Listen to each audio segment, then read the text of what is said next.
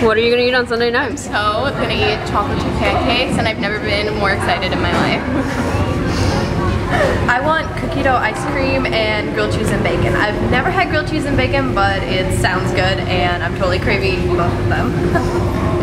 On Sunday night, I'll probably be eating everything in sight, but chocolate's definitely on top of the list. oh yeah. What are you gonna be having on Sunday night? Well, it'll be my birthday dinner, so I'm planning on going to a Japanese steakhouse and pigging out on chicken fried rice. Oh, oh my gosh. What are you having on Sunday night? I'm gonna have a chocolate covered sundae oh. and I'm gonna have a milkshake and I'm just gonna have a lot of ice cream.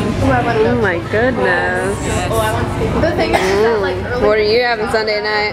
I'm just gonna eat everything chocolate because the only is chocolate is.